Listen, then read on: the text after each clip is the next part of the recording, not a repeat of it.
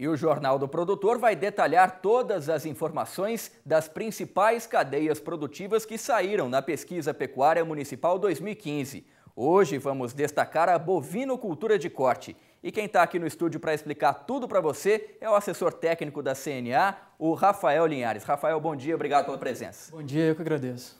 Agora, Rafael, qual que é o tamanho do rebanho bovino brasileiro segundo essa pesquisa? Segundo a pesquisa pecuária municipal, o rebanho bovino 2015 215 milhões 200 mil cabeças de bovinos dentro do território nacional.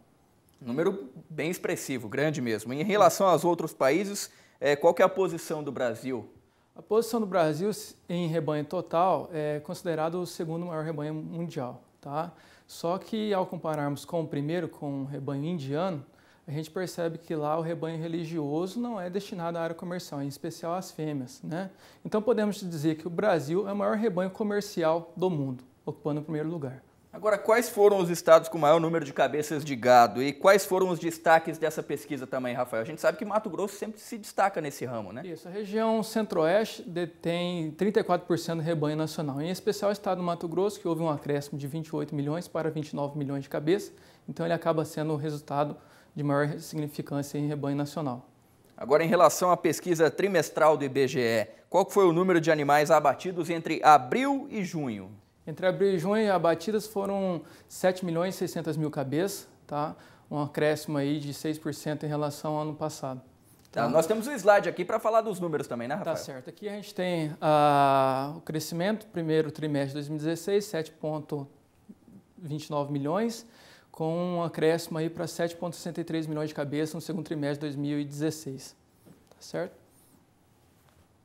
Aqui o ranking, a variação anual do Estado, de abate por Estado, Mato Grosso do Sul com 4,4% de crescimento, 4,8% Mato Grosso do Sul, Goiás, os estados aí de maior relevância no abate nacional. Ou seja, houve então um aumento em relação ao ano passado? Sim, houve aumento. Agora, quais são os principais estados em número de abates? A gente está tá vendo aqui também, né? Também, é, o estado do Mato Grosso por si só ele vai abater a maior quantidade, fruta aí também do seu maior rebanho, seguido do Mato Grosso do Sul, Goiás, Rondônia, são estados de maior relevância aí por unidade federativa.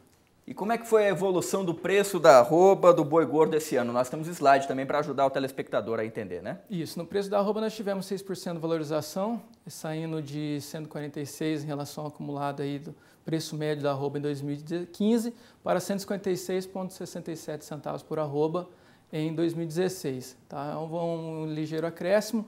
Lembrando que em 4 de abril de 2016 a gente teve o maior preço da história, R$ 159,59 por arroba. E quais são os nossos principais parceiros comerciais? Quais países que mais compram a carne brasileira? Está aqui estabelecido no gráfico também, com destaque aí para Egito, 37%, Hong Kong, 22%, Rússia, China, Chile, União Europeia são os principais compradores da nossa carne. Tá ok, muito obrigado então Rafael Linhares, assessor técnico da CNA, prestando esclarecimentos aqui pra gente no canal do produtor. Obrigado, tenha um bom dia.